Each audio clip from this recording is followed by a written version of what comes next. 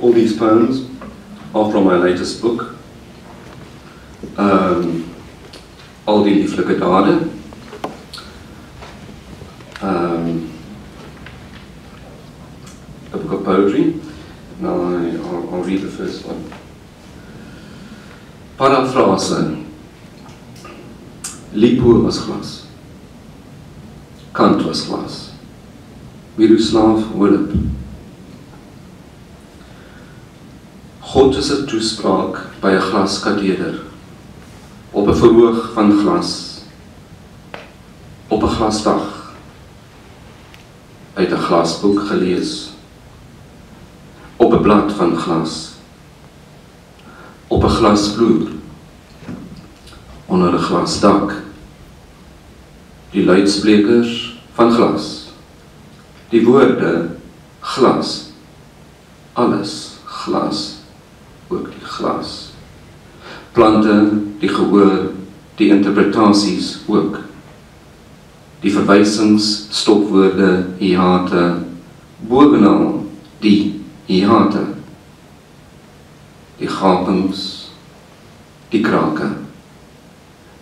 Hoe breekbaar is glas, veral waar jy dit nie sien nie.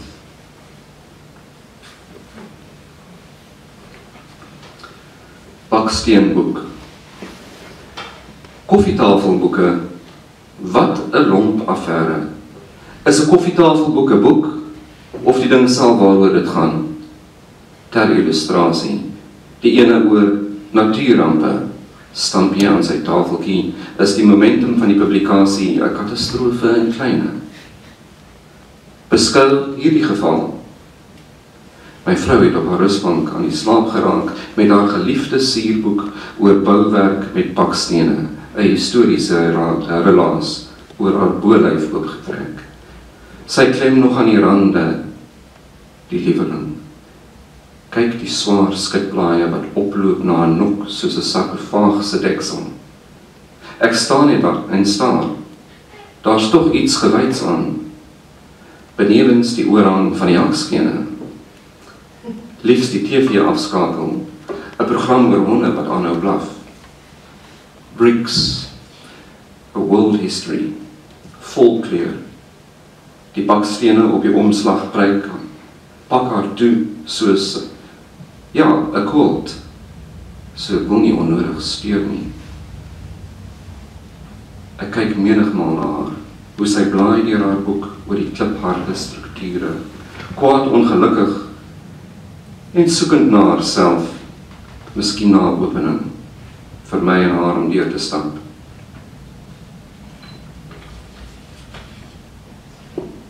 As mens as mens bou, moet dit daarom wees met die hoë landskap.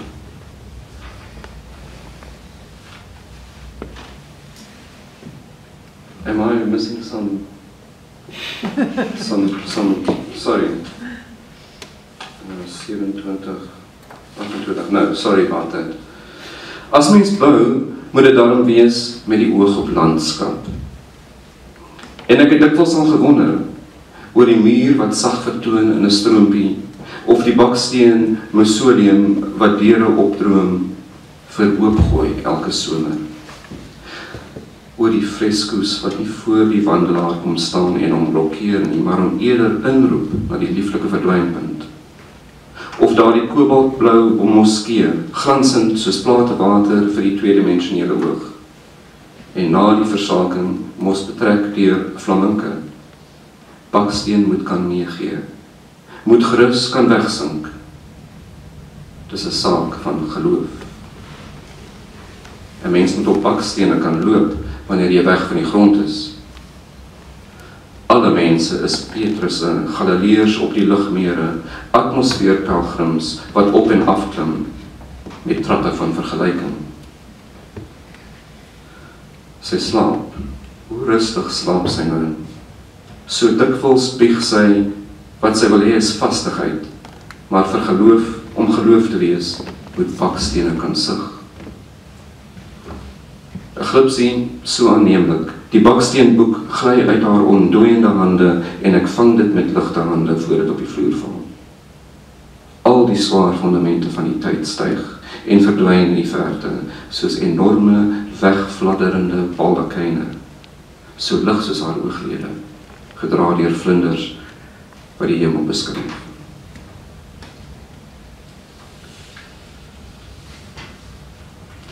Wetenskap sepend ek stap deur 'n moerige ek stap deur 'n moerige aanstraat af. Elke lamplig hang soos 'n ster in sy draadhelm die neon voorkante van die restaurante wentel verby my soos pulsende sfere in 'n dofblink planetarium. 'n Chinese eetplek. Dis waar ek die aand die skepping begin verstaan het Elkeen van ons is immers 'n primitiewe sterrekundige. Ons stoor die universum versigtig in skoenlose. En op 'n dag, skielik, val 'n Pandora boks met ou vergeelde jeugfoto's, juis daardie dag en datum van 'n rak en dit trek deur die lug soos 'n wetenskap. Die armsalige vierkante wat so probeer rol. Lewe in die baaierd, sê mense is bloot toevallig. Hulle sê ook alles is haarfyn beplan. Selfs asreën, sneeu, elke Jesusvlokkie, heksagonaal, 'n kathedraal, deurslawe gebou. Gees, o Gees, waarin alles neerdal. Verder sê hulle die ruimte en alles daarin buig. Maar as daar mense by betrokke is, dan is dit glo 'n ongeluk. Ons sit oor kan die paartjie. Hulle pas klaar geëet. Sy maak knipgeluitjies by elke oor en die oorbelle kom los. Met slanke voorarms leun sy op haar elmbo, handpalms na bo, soos kalke aan halms en haar een en in haar een hand wieg die steentjies rubynrooi soos twee hemelliggame. God, wetenskap, die liefde. Die een bo die ander meer gereeld te sien. In my geestesoog bemerk ek nog die boog van haar nek, die effens vooroor buig om die geliefde te soen. Gewigtig die oomblik. Net die skyn van 'n trilling en hoe lig glasieus sy die planete gedraai het.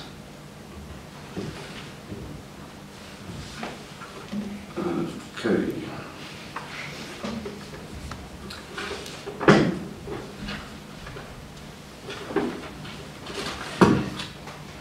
Sien hoe ons seker of ek al die gedigte hier sou het. Eergister en môre. Okay. I've got it. Thanks. Eergister en môre met visse.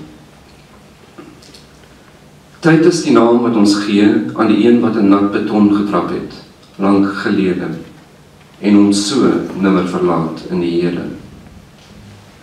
Om te begryp is moeilik. Omhelsing nog swaarder. Die wind fluit deur die peule soos die geheue deur piksels.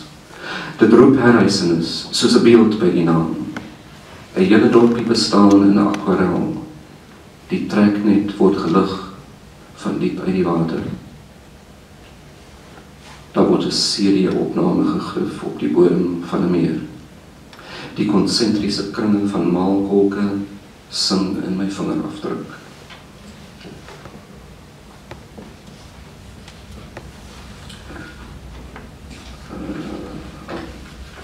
Ek het daai nou net gesien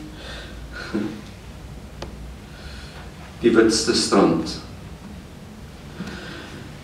Mens kan sien hoe die rivier loop sedertdien verander het. Die skeidslyn tussen hier en daar. En die oewer waar ek nou staan, was vroeër aan die ander kant. Weerskante strek die witste strand. Nie ver hier vandaan nie, op die oop see, het 'n storm in 1500 Bartolomeu Dias se glasskipie tot vandag toe nog heeltemal deurskynend dit pletter geslaan. Die rinkelende seetrollie met sy klein bolwerk van gekruisigde doilies ten gronde. Die golwe het gehuil soos geskinkte wolwe. Die hier en die daar. Die strandlopers het dit al gesien. En later wat 'n kusstrook was nie so verdeel nie. Hier slegs blankes. Daar iewers uitgestoot nie blankes. Die eerste kaplyne was getrek op die strande. Koloniste wat getinfoliede stokke rondswaai wat poeierdampe poep aan die een kant en aan die ander kant die skarrelindes, die strandkwartels. Hulle die bewegende sand. Die potskerwe. Die erwe van die vaders. Ander se geliefkoeste kusvakansies. En tog hoe verlê die oewers nie. Jare lank kon ek terugdink aan 'n insident tussen my en my pa. Hy wat soos hulle sê nou reeds oorgesteek het. Wrokkig met haat selfs met eie geregtigheid. Maar op 'n dag word ek wakker. Proe proe weer probeer die bloeddorstigheid onthou. Maar al wat nou oorbly is 'n sagtheid, 'n motreën sagtheid van oorbegrip. En dit deurweek alles. staan wat jy staan aan die ander kant. En terselfdertyd steeds aan hierdie kant. Net soos die dooies op 'n eindelose, aaneenlopende, verblindende wit strand. En miskien is dit vergifnis.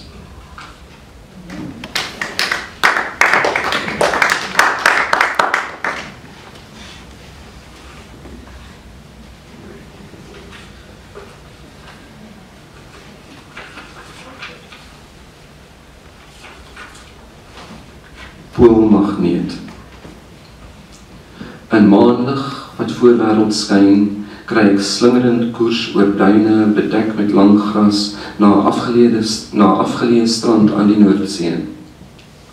Hier strek die oseaan gat en doodstil heelpad pool toe na die aarde se einde. Kyk hoe trek die stroom bot en sterk en onderlangs styf onder die rimpeling soos 'n oeroue spier. En niks kan dit keer nie die inkering van die wêreld na sy keerkant. Die verf ruspunt se blinde gerem. Ek loop uit op houtplanke en staan oor die water, omgewe deur 'n vreemde spieelbeeld van iets vaagwegs bekend, waarin alles aanvanklik sag en gekoester in die poeierlig moes gewees het, maar ook koud en onsuiwig en afgewendel tot droesem. Ongelit wat 'n eindelose, glansende oppervlak, 'n enkel terugstarende blik. En ek sien dit skielik soos 'n vis dit sien. Baie dankie, thank you.